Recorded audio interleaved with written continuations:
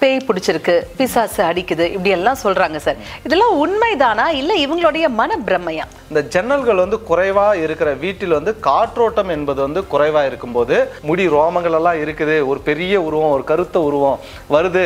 என்கிட்ட வருது நான் கத்துறேன். அப்புறம் அவரை கூப்பிட்டு வாங்க. வந்து உட்காரச்சாரு உட்கார வச்சு தலையை குனிஞ்சு அடிக்கிறாரு. யார் உன் பேர் என்ன? சொல்லு. அவர் லேடிஸ் அந்த ஆண் வந்து லேடிஸ் வயசுல பேசுறாரு. அது இல்லாம பேய் அப்படின்ற ஒரு விஷயம் பேய் கூட்டு போய் ஓட்டுனீங்களா அந்த பேயை வந்து என் மேலே ஏற்றி விடுங்க அப்படின்னு சொல்லியிருக்கான் அந்த வீட்டுக்கு வந்து ஜன்னலே கிடையாது. ரெண்டாவது விஷயம் தெற்குல கிணறு. நான் ஒன்றே ஒன்று சொல்கிறேன் செய்யுங்க. இதுக்கப்புறம் இவருக்கு பேயே பிடிக்காதுன்னு நான் சொல்லிட்டு வரேன். என்னன்னா அந்த கிணறு மூடுங்கன்னு சொல்கிறேன் அடுத்த நாளே வந்துட்டு லாரி ஜேசிபி எல்லாம் கொண்டாந்து மண் அவங்க நிலத்துல இருந்து கல் மண்ணாக இருக்கிற இடத்துல எல்லாம் கொண்டாந்து கொட்டி அந்த கிணத்தை மூடிட்டாங்க. இதுக்கு அப்படியே ஆப்போசிட்டா ஒரு விஷயம் பேசுவோம் சார் சில பேர் சாமி வருது அப்படின்னு சொல்றாங்க இல்ல குறி சொல்றாங்க இல்லைங்களா? அதை பத்தி உங்க கருத்து? அந்த குறி சொல்கிறவங்க வாக்கு சொல்கிறவங்க கூட ஓகே ஆனால் அந்த சாமி ஆடுறாங்க பார்த்தீங்களா அதை தான் நம்ம பார்க்கணும்.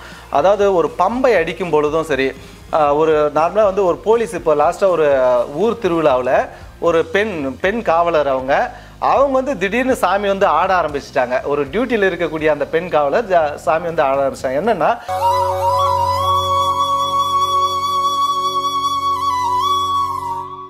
ஆன்மீக உலா அன்பு நேயர்களுக்கு இனிய வணக்கம். திடீர்னு பார்த்தா போயிட்டே இருந்தாங்கப்பா பேய் அடிச்சிருச்சு போல. அவங்க நடவடிக்கையே மாறி இருக்கு அப்படின்னு சொல்றாங்க. பேய் பிடிச்சிருக்கு அப்படின்னு சொல்றாங்க. இந்த பேய் பிசாசு இதெல்லாம் உண்மைதானா? இது குறித்த தெளிவான விளக்கங்களை நமக்கு சொல்வதற்காகவே நம்ம கூட இணைந்திருக்காரு ஆண்டாள் வாஸ்து ஆலோசகர் மற்றும் தர்மபுரி ஜோதிடர் திரு பாலாஜி அவர்கள். வாங்க நேர்களே சார் சந்திப்போம். வணக்கம் சார். வணக்கம் மேம் சார் பேய் பிடிச்சிருக்கு பிசாசு அடிக்குது இப்படி எல்லாம் சொல்றாங்க சார். இதெல்லாம் உண்மைதானா? இல்ல இவங்களுடைய மன பிரம்மையா அரண்டவன் கண்ணுக்கு இருண்டதெல்லாம் பேய் அப்படின்ற மாதிரி. பேய் அப்படின்ற ஒரு விஷயத்த நான் எப்படி பார்க்குறேன்னா நான் என்கிட்ட கிளைண்ட்ஸ் வரவங்கெல்லாம் கேட்குறாங்க இல்லைங்களா என்னென்னா வந்துட்டு ரெண்டு விஷயமா கேட்பாங்க. ஒன்று எனக்கு செய் யாரோ செய்வினை செஞ்சுட்டாங்க அப்படின்ற ஒரு விஷயமும் இங்கே வரும். ரெண்டாவது விஷயம் பேய் பிடிச்சிருக்கு கூட்டு போய் பேய் ஓட்டணும். நாங்களும் வந்துட்டு ஒரு ஆறு மாதத்துக்கு ஒரு டைம் மூணு மாதத்துக்கு ஒரு டைம் பேய் ஓட்டிகிட்டே தான் இருக்கோம். இன்னொருத்தர் வந்து செய்வினை எடுத்துகிட்டே இருக்கோம் அப்படின்னு சொல்லுவாங்க.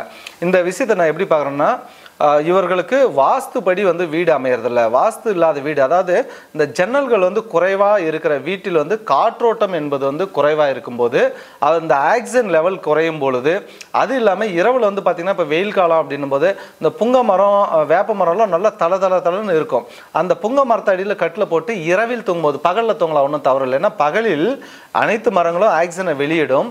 இரவில் வந்துட்டு ஆக்சிஜனை உள்ளிழுத்துக்கிட்டு அதாவது பகலில் ஆக்சிஜனை வந்து வெளிவிட்டு கார்பன் டை ஆக்சைடை உள்ளிழுக்கும் ஆனால் இரவில் வந்து பார்த்தீங்கன்னா கார்பன் டை ஆக்சைடை அதிகமாக வந்து வெளியிடும்போது அந்த இடத்துல பார்த்தீங்கன்னா அந்த மரத்துக்கடியில் ஃபுல்லாகவே வந்துட்டு அந்த ஆக்சிஜன் வந்து குறைவாக இருக்கும் பொழுது இல்லை வீட்டில் வந்து ஆக்சிஜனோட லெவல் குறைவாக இருக்கும்போது அவர்கள் சொல்லுவாங்க அதாவது இது நிச்சயமாக இது நிறைய பேர் வந்து ஃபீல் பண்ணியிருக்காங்க நிச்சயமாக வந்து ரெண்டு வீட்டில் ஒரு வீட்டில் எல்லாருமே ஃபீல் பண்ணியிருப்பாங்க எப்படின்னா ஒரு கருப்பாக ஒரு உருவம் வந்துச்சு வருது. எனக்கு தெரியுது நல்லா நினைவு இருக்குது ஒரு உருவம் வந்து கருப்பாக வருது. அது பார்த்தீங்கன்னா அந்த புலிகேசியில் இருபத்தி மூணாம் புலிகேசி படத்தில் வர கரடி மாதிரி இருக்கும் நிறைய முடி ரோமங்கள் எல்லாம் இருக்குது. ஒரு பெரிய உருவம் ஒரு கருத்த உருவம் வருது. என்கிட்ட வருது நான் கத்துறேன். உடலை அசைக்கிறேன் ஒன்றும் முடியல என்னால் வந்து கையை உதறவும் ஆனால் முடியல. நான் கத்துறேன் கத்து சவுண்டு வெளியே வரல. பக்கம் இருக்கிறவங்களுக்கு தெரியல. அது வருது கிட்ட வருதுன்றது தெளிவாக தெரியுது. வந்து என் மேலே வந்து அப்படியே அழுத்திருச்சு அப்படின்றதெல்லாம் நிச்சயமாக வந்துட்டு ஓ, ரெண்டு வீட்டுக்கு ஒரு வீட்டில் இது நடந்திருக்கும். எல்லாமே இந்த வீடியோ பார்க்குறவங்க எல்லாமே ஃபீல் பண்ணுவாங்க. ஏன்னா இதெல்லாம் வந்து என்கிட்ட கம்ப்ளைண்ட்டாக வந்திருக்கு. இதில் நானே ஒரு டைம் ஃபீல் பண்ணியிருக்கேன்.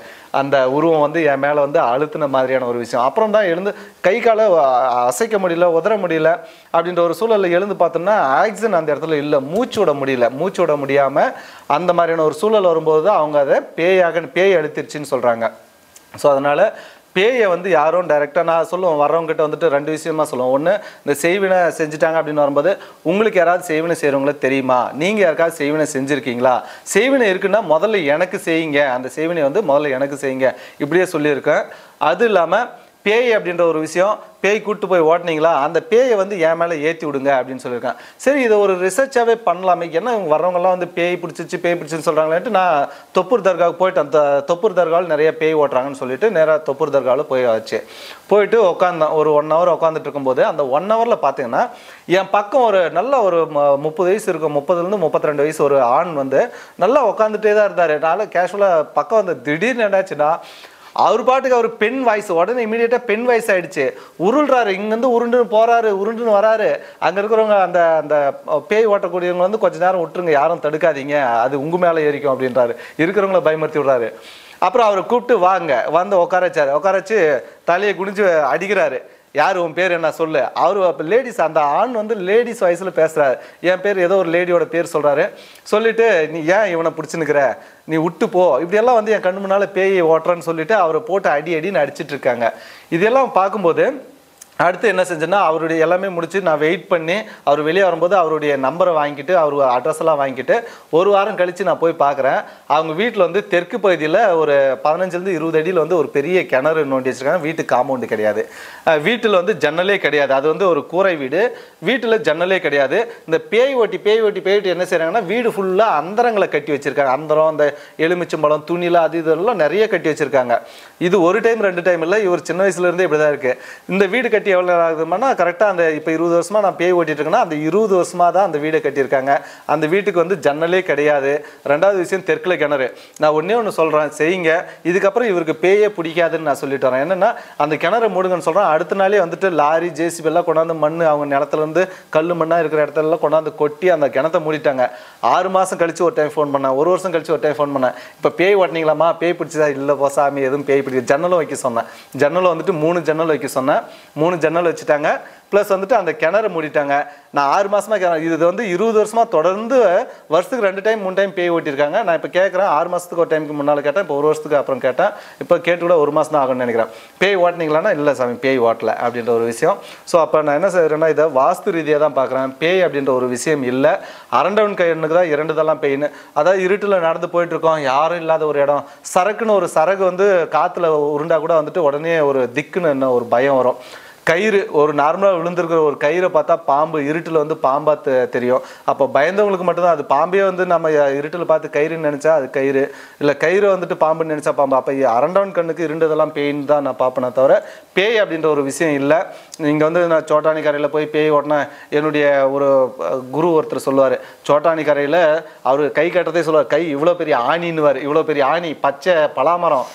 வச்சுட்டு தலையில் அடித்து அந்த யானையை இறக்கிடுச்சு அப்படின்லாம் சொல்லுவாங்க. அது என்னன்னா ஒரு வகையான மனப்பிறழ்வுன்னு தான் நான் நான் சொல்லுவேன் அதை. அவர்களுக்கு வந்து வடகிழக்கு பாதிக்கப்பட்டிருக்கோம். அப்போ வந்து அந்த மன அந்த நரம்பு அப்படின்ற விஷயம் பாதிக்கப்பட்டு மனப்பிறழ்வு ஏற்படும் பொழுது அவர்களுக்குள்ளாகவே வந்துட்டு அதை தன்னை சந்திரமுகியாக நினைத்து கொண்டால் சந்திரமுகியாவே மாறிவிட்டால் அப்படின்ற மாதிரி தான் இதை நான் பார்க்குறேன் தவிர இது ஒரு வகையான மனப்பிறழ்வு ஒரு வகையான நரம்பு பாதிக்கப்பட்ட விஷயம்தான். அப்போ அவங்க வடகிழக்கையும் தெற்கு பகுதியும் வந்துட்டு பள்ளம் இல்லாமல் பார்த்துக்கும் போது வடகிழக்கு க்ளோஸ்டு இல்லாமல் ஜன்னல்கள் வீடு ஃபுல்லாக இதுக்கு தான் ஜன்னல் நிறைய வைங்க பெரிய பெரிய ஜன்னலாக வைங்க. காற்றோட்டம் ஆக்சிஜன் நல்லா இருக்கும்போது அந்த இடத்துல வந்துட்டு நல்ல திறமையான குழந்தைகள் வளருவாங்க அப்படின்னு தான் நான் பார்ப்பேன். இது வந்து பேய் அப்படின்ற ஒரு விஷயமாக இதை நான் பார்க்க பார்க்க மாட்டேன் ஓகே சார் பேய் பிசாஸ் அதெல்லாம் சும்மாப்பா பேய்களை நம்பாத அப்படின்னு சொல்லிட்டு தெளிவான விளக்கம் கொடுத்தீங்க சார் இதுக்கு அப்படியே ஆப்போசிட்டா ஒரு விஷயம் பேசுவோம் சார் சில பேர் சாமி வருது அப்படின்னு சொல்றாங்க இல்ல குறி சொல்றாங்க இல்லைங்களா?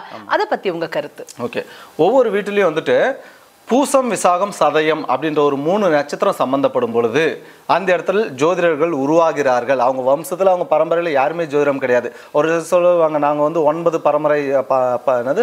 தலைமுறை ஜோதிடர்கள் பரம்பரை ஜோதிடர்கள் நல்லா சொல்லுவாங்க பரம்பரை வைத்தியர்கள்னு சொல்லுவாங்க. ஆனால் நான் என்ன சொல்கிறேன்னா ஒரு வம்சத்தில் யாருமே ஜோதிடர்கள் கிடையாது. அந்த இடத்துல புதிதாக ஒரு ஜோதிடர் உருவாகிறார் அப்படின்னும் போது அந்த குடும்பத்தில் பூசம் விசாகம் சதயம் அப்படின்ற ஒரு விஷயம் சம்மந்தப்படும் ஜோதிடர் மட்டும் இல்லை இந்த பூசாரிகள் குறி சொல்கிறவங்க சாமியாடிகள்னு சொல்லுவாங்க வாக்கு சொல்கிறவங்க அப்படின்னாலாம் சொல்லுவாங்க. அந்த இடத்துல வந்துட்டு இந்த பூசம் விசாகம் சதயம் அப்படின்ற நட்சத்திரம் சம்மந்தப்படும் ஒன்று ரெண்டாவது விஷயம் இது ஓகே ஜோதிடம் என்பது வந்து அவர் படிக்கிறார். இப்போ எக்ஸாம்பிளுக்கு நானே சொல்லிடுறேன். என்னுடைய பையன் வந்துட்டு இன்றைக்கி இன்னைக்கு பதினோரு வயசு ஆகுது நான் வந்து பத்து வருஷமாக தான் ஜோதிடம் வந்து படிக்க ஆரம்பிச்சது. ஒரு ஆரம்பித்து ரெண்டு மூணு வருஷம் படித்தேன் அதுக்கப்புறம் ஏழு வருஷமாக இப்போ ஜோதிடம் பார்த்துட்ருக்கேன் தொழிலாக பார்த்துட்ருக்கேன் ஸோ இப்போ என் பையன் வந்து பிறந்த அந்த காலகட்டத்தில் தான் நான் அது படிக்க ஆரம்பித்தேன் அப்போ என் பையன் வந்துட்டு விசாக நட்சத்திரத்தில் பிறக்கிறாரு. இதில் இன்னும் குறிப்பாக பார்க்கணுன்னா என் பையன் பிறந்தது வந்து விசாக நட்சத்திரம் பங்குனி மாதம் அடுத்து நான்கு வருடம் கழித்து என்னுடைய பெண் குழந்தை எனக்கு பிறக்கிறாங்க. அவங்களும் அதே விசாக நட்சத்திரம் அதே ரெண்டாம் பாதம். பாதம் கூட மாறல. அதே மாதம் பங்குனி மாதம். அப்போ பங்குனி மாதம் மாறல விசாக நட்சத்திரம் ரெண்டாம் பாதமும் மாறல இது அப்படின்னும் போது என்னுடைய பையன் பிறந்த அந்த காலகட்டத்தில் தான் ஜோ- ஜோதிடம் படிக்கிறேன். அதுக்கப்புறம் தான் ஜோதிடத்தை வந்து ஆய்வுக்கு ஆய்வாக எடுத்து ஒரு ரெண்டு வருஷம் மூணு வருஷம் தமிழ்நாட்டில் உள்ள அனைத்து மாவட்டத்திலையும் படிச்சிருக்கேன்னு நான் இதில் சொல்ல முடியும். ஸோ அனைத்து மாவட்டத்திலையும் பல ஜோ பல பேர்கிட்ட படித்தேன். அதுக்கப்புறம் இது நம்ம படிச்சுட்டே இருந்தால் படிச்சுட்டே தான் இருக்கணும்ன்ட்டு தொழில்முறை ஜோதிடமாக பார்த்துட்டு இப்போ ஏழு வருஷமாக வந்து பார்த்துட்ருக்கேன் அப்போ அந்த இடத்துல வந்துட்டு பூசம் விசாகம் சதயம் அப்படின்ற ச விஷயம் வந்துட்டு சம்மந்தப்படுது அது சம்மந்தப்படும் பொழுது அந்த குறி சொல்கிறவங்க வாக்கு சொல்கிறவங்க கூட ஓகே ஆனால் அந்த சாமி ஆடுறாங்க பார்த்தீங்களா அதை தான் நம்ம பார்க்கணும். அதாவது ஒரு பம்பை அடிக்கும் பொழுதும் சரி ஒரு நார்மலாக வந்து ஒரு போலீஸ் இப்போ லாஸ்ட்டாக ஒரு ஊர் திருவிழாவில் ஒரு பெண் பெண் காவலர் அவங்க அவங்க வந்து திடீர்னு சாமி வந்து ஆட ஆரம்பிச்சிட்டாங்க. ஒரு டியூட்டியில் இருக்கக்கூடிய அந்த பெண் காவலர் சாமி வந்து ஆட ஆரம்பிச்சிட்டாங்க. என்னென்னா அந்த எல்லாம் காவடி எடுத்துகிட்டு போகிறாங்க வேலு இதெல்லாம் குத்திட்டு அழகு எடுத்துகிட்டு போகும்போது அந்த இடத்துல நிறைய சாம்பிராணி புகை போட்டு அந்த இடத்துல பம்பை இந்த காவடி எடுத்துகிட்டு வரும்போது பம்பை அடிக்கிறாங்க. அந்த பம்பை அடிக்கும்போது அந்த நரம்புகள் எல்லாம் வந்து ஒரு கிளர்ச்சி. நார்மலாகவே வந்து பார்த்திங்கன்னா ஒரு நல்ல மியூசிக்கை கேட்கும்போது நம்மளே தலையை ஆடும் உடம்பு ஆடும். அப்படின்னு போது அந்த நரம்புக்குள்ள ஒரு கிளர்ச்சி அப்படின்ற ஒரு விஷயம் ஏற்படுது. அந்த மூக்கின் வழியாக அந்த சாம்பிராணி புகை போகும்போது அந்த நரம்பு மண்டலம் லேசாக பாதிக்கப்படும். ஒரு சில டிவி ஷோக்கில் எல்லாம் பார்த்தீங்கன்னா ஒரு மாந்திரிகர் உட்காந்து நான் இங்கே பேயை வர வைக்க போகிறேன் நான் ஒன்று வந்து அசையாமல் உட்கார வைக்க போகிறேன் அப்படின்னும் போது அந்த இடத்துல என்ன செய்வாங்கன்னா அவங்க ஆட்டோமேட்டிக்காக அந்த சாம்பிராணி அப்படின்ற ஒரு விஷயத்தை அதிகமாக போட்டு அந்த பம்பை அப்படின்ற ஒரு விஷயத்தை வாசிக்கும் போது அவர்களுக்குள்ள அந்த நரம்பு அப்படின்றது வந்து கிளர்ச்சி பெறும். நரம்பு கிளர்ச்சி பெறும்போது நார்மலாகவே வந்து ஆக்சிஜன் அளவு வந்து அதிகமாக எடுத்துக்குவோம். அதில் வந்து வந்துட்டு இந்த சாம்பிராணியோட வாசம் அதிகமாக சேர்ந்து போகும்போது அந்த நரம்பு மண்டலம் வந்து ஒரு வகையான பாதிப்புக்குள்ளாகி அது அவர்களை வந்து தானாக ஆட வைக்குது அந்த இடத்துல. அதுதானே தவிர அதே போல் இந்த சாமி வர்றதை வந்து நான் பார்க்குறேன். நான் வந்துட்டு எல்லாம் அழகு குத்தும்போது ஓடி போய் எழுந்து போய் அது அந்த சாமி வந்தால் தான் அழகு குத்துவாங்க. இல்லைனா குத்தவே மாட்டாங்க. எல்லாம் உட்கார வச்சிருக்காங்க. எல்லாருக்கும் தண்ணி ஊற்றியாச்சு மஞ்சள் தண்ணி ஊற்றியாச்சு சாமி வந்து எல்லாம் கத்திட்டு ஓடினா தான் அந்த அழகை எடுத்து குத்துவாங்க. அப்படின்னும் போது நான் எல்லாம் முடிச்சுட்டு ஒருத்தர் கூப்பிட்றேன் என் ஃப்ரெண்டு கூப்பிட்டு வந்து "ஓ, எப்படிடா உனக்கு சாமி வந்துச்சு? சொல்கிறேன்னா எனக்கு எங்கே சாமி வந்துச்சு? சாமி வரலன்னு சொல்ல நடிச்சிட்டு உட்காந்துட்டு இருந்தாக்கா அப்புறம் ஏதோ தோசைன்னு சொல்லிவிடுவாங்க அதுக்காக நான் எல்லாரும் பார்த்து எல்லாம் சாமி வந்த மாதிரி இருந்து ஓடினாங்க. நானும் எழுந்து ஓடி போய் அழகு குத்தின்னு வந்துட்டேன் அப்படின்னு சொல்கிறத தவிர அது ஒரு சிலர் வந்து சாம பெண்கள் வந்து ஈஸியாக எளிதாக பாதிக்கப்படுவாங்க. அந்த பம்பை அதாவது அவங்க வந்து சொல்லும் போது எதிர்க்க போய் உட்கார்ந்தாலே போதும். கட கட கட கடன்னு ஹிஸ்டரியே சொல்றாங்களே. அப்பதானே சார் டவுட் வருது? இல்லையே. இதுல என்ன விஷயம்னா ஹிஸ்ட்ரின்றது வந்து நீங்கள் நேரில் பார்த்தீங்களா அப்படின்ற ஒரு விஷயம். என்னென்னா அவர்கள் ஹிஸ்ட்ரின்னும் போது நம்மளுடைய வாழ்க்கையில் நடந்த விஷயங்களை சொல்ல மாட்டாங்க. இதையும் நான் சொல்லிடுறேன். இதுக்காகவும் நான் ஒரு இடத்துல போய் உட்காறேன் இரநூறுபா வச்சாச்சு. ஒரு தட்சணை இரநூறுவா முந்நூறுவா வச்சுட்டு உட்காந்தாச்சு அவர் வந்து ஒவ்வொருத்தராக கூப்பிட்றாரு. நீ வா. அதாவது வான்னு சொல்ல மாட்டார். அப்படின்னுவாரு. அப்படியே முன்னால் போய் உக்காந்தேன். நம்ம கண்ணை அப்சர்வ் பண்ணுறாங்க அவங்க. ஒவ்வொரு விஷயத்துக்கும் வந்து கண்ணை அப்சர்வ் பண்ணுறாங்க பார்த்துட்டு நான் என்ன நம்ம வந்து பேச போகிறோன்றதை அவங்க கவனிக்கிறாங்க. முதல்ல வந்து நம்மளை பேச விடுவாங்க அப்படி இல்லைன்னாலையும் இந்த இதுதான் நான் ஆத்மா ஆத்மா பேசுது அப்படின்றதுக்காக நான் போயிருந்தேன். எங்கள் பாட்டி வந்துட்டு நான் சொன்னல பூச விசாகம் சதயம் ஒரு குடும்பத்தில் வந்தாலே அந்த இடத்துல சூசைடல் டெத்துன்றது வரும். எங்கள் பாட்டி அந்த மாதிரி திடீர்னு மரணமானதால் ஏதாவது ஏன் இறந்தாங்கன்னு தெரிஞ்சுக்கலான்னு போனேன். இப்போ இப்படின்னாரு உட்காந்தேன் போயிட்டு உட்காந்துட்டு என் கண்ணையே பார்த்தாரு அழ ஆரம்பிச்சிட்டாரு. நான் நாதா நாதாசாமி வந்திருக்கேன் அப்படின்னாங்க. சொல்லுமான்னு. எங்கள் பாட்டி நான் வந்து அம்மான்னு சொல்லுவேன். அதனால் நான் தான்டா அம்மா வந்திருக்கேன். உன் பெத்தா அம்மாடா.